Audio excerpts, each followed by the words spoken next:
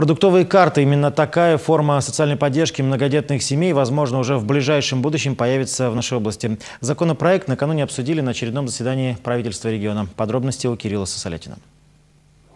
Продуктовая карта – новый проект адресной социальной поддержки многодетных и малообеспеченных семей. По сути, это обычная пластиковая банковская карта, только без возможности обналичить находящиеся на ней деньги.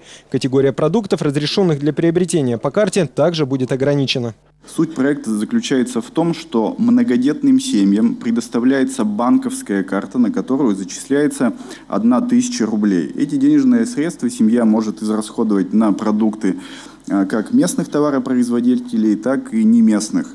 Но в случае, если семья расходует деньги на приобретение местной продукции, эти деньги ежемесячно будут восстанавливаться перспективе проект поможет решить несколько задач. Прежде всего, это помощь нуждающимся семьям, плюс установление точного количества малообеспеченных семей в области, так как получить карту смогут только те, кто состоит на учете в органах социальной защиты. И третья важная задача – поддержка местных товаропроизводителей. Тем не менее, начальный вариант проекта вызвал немало вопросов. Мы должны сразу на берегу договориться, как мы считаем эффект.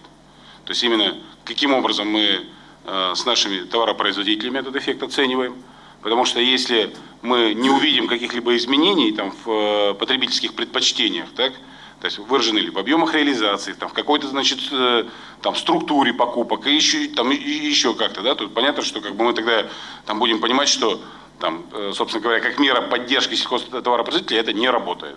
К тому же пока не решен вопрос реализации проекта в районах. Продуктовая карта предусмотрена для использования прежде всего в крупных торговых сетях, чьи магазины есть не во всех районах. Окончательно не определена и категория граждан, которые будут получать поддержку. В частности, это могут быть малообеспеченные и многодетные семьи. Никита Белых заявил, что проект необходимо доработать в течение недели.